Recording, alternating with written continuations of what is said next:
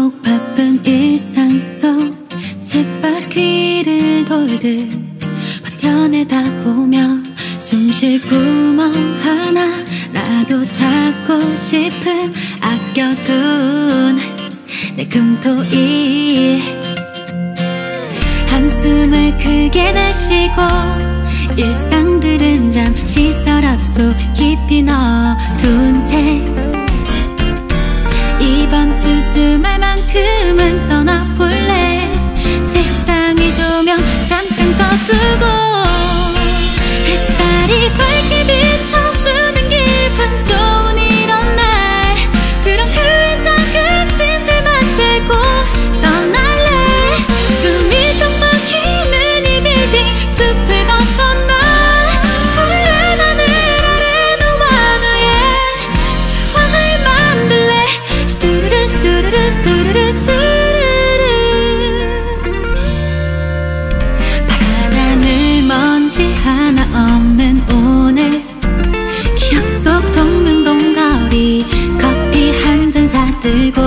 무작정 걸으며 고민